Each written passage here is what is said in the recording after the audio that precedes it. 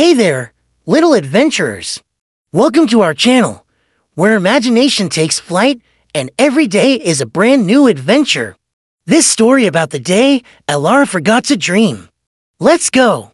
The night Elara forgot to dream, the savannah held its breath. The baobab trees stood silent, their usual luminous blooms dimmed to mere shadows. Even the fireflies, Elara's tiny lantern bearers, cast only the faintest flicker. For the first time in anyone's memory, the elephant with the stardust-kissed trunk couldn't paint the night sky with wonder.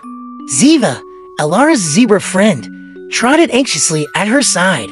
Elara, she whispered, her voice barely a chirp. Where are the stars tonight? Where are the stories you paint with your trunk? Elara's great ears drooped. Usually, her imagination overflowed with constellations and tales woven from moonlight. But tonight, it was as barren as a sun-baked riverbed. I, I don't know. Ziva, she mumbled, shame tinging her trunk. The dreams seemed far away. Ziva, ever the optimist, nudged her side. Maybe they're playing hide-and-seek again, like the moon did. Elara's trunk quivered with a sigh. But how do we find them, Ziva?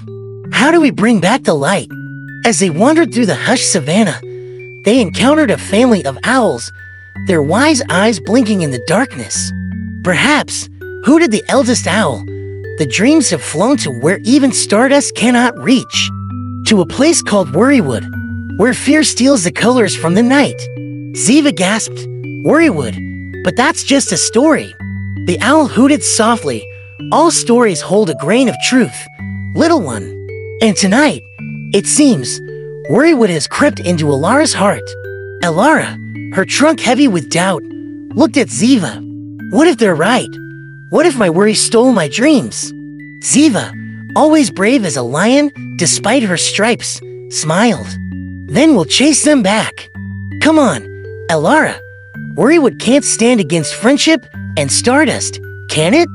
And so, with Ziva leading the way and a sprinkle of stardust for bravery, they ventured into the whispering shadows of Worrywood. They tiptoed past prickly doubts and dodged thorny anxieties. Ziva's hooves light and Elara's trunk rumbling with newfound determination. Finally, they reached the heart of the grove, where a gnarled tree, twisted by worry, held captive a cage of shimmering lights. Inside, trapped like fireflies in a jar, were Elara's dreams. Don't be scared, Elara, Ziva whispered, her stripes blending with the shadows. Remember, you have stardust. You have me. Taking a deep breath, Elara raised her trunk and dipped it into the stardust, well hidden within her heart. With a gentle blow, she showered the cage with shimmering magic.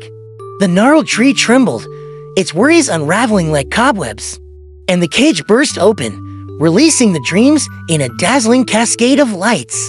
The moment the dreams escaped, Worrywood began to fade, its shadows melting away under the stardust rain.